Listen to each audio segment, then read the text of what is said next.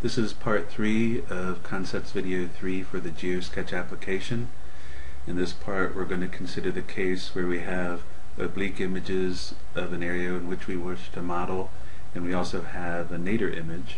We use the GeoSketch function to import the nadir image and when we do it we'll also use the geolocation information to geolocate our coordinate system to the world. If we go to Window, in Model Info and select the Location tab, by default SketchUp sets our location at Boulder, Colorado. But we import our nadir image, select the image, and our lat and lon have been changed such that the origin of our coordinate system is now located on the Earth for Providence, Rhode Island. Now the next thing that we need to do is to modify our aux views and the camera models contained with them to that new geolocation. And the way we're going to do that is again using geometry as our mechanism. We're going to use the move tool to move the building to its proper location on this geolocated image and then use an option to update the aux views. So GeoSketch does not make any assumptions about the organization of your model. This is intentional so that each user can use whatever model organization they prefer, however they want to use groups and components to organize the pieces of their model. So GeoSketch does not uh, impose any usage of groups and components. But it does operate on the assumption that you're going to use contiguous pieces of geometry to represent such, uh, features such as a building.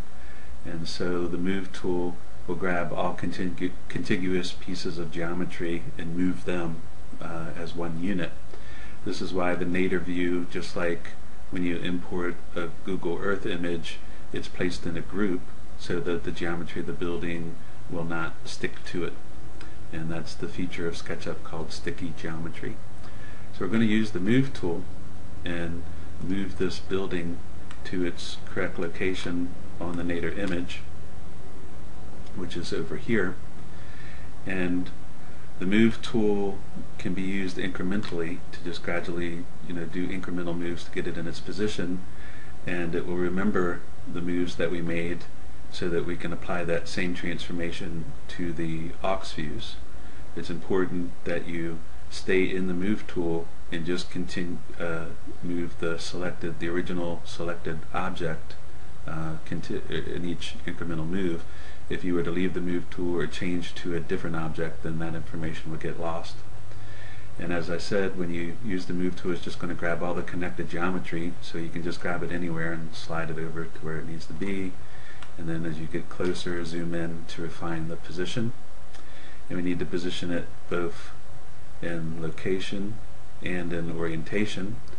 The move tool has a feature where if you hold down the control key then it will give you a lever, lever arm and you can do rotation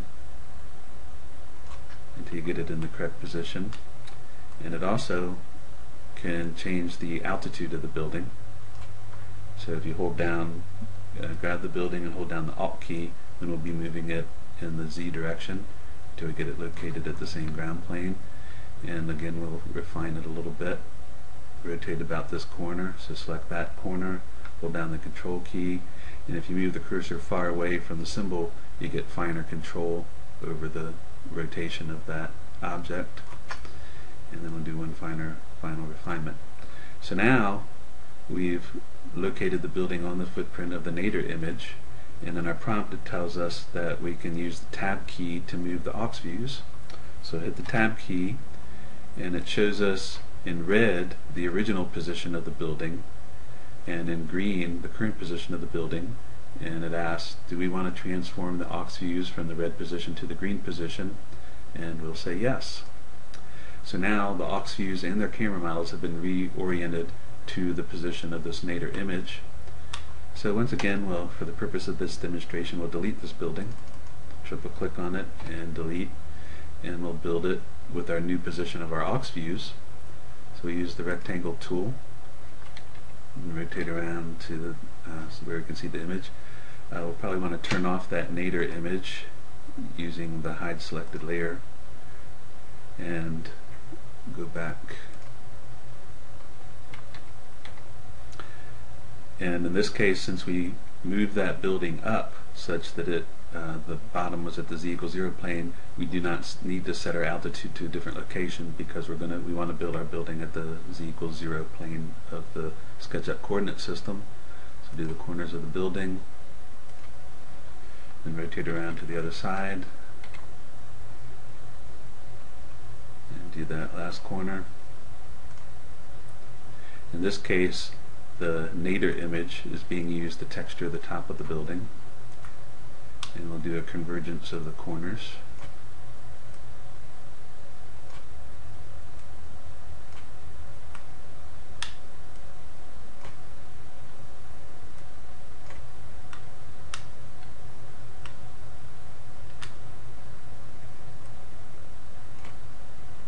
And now we see we have a better location of that building to our nadir image. We'll go back to Window, Layers, and turn on the nadir layer. And when we constructed that building, it is now positioned correctly on this footprint. And if we proceed to build some other buildings in this model, they will also be located correctly on the nadir image. One technique that can be used, you notice that um, I moved the cursor as far away as possible from the corner I was rotating about to get finer control.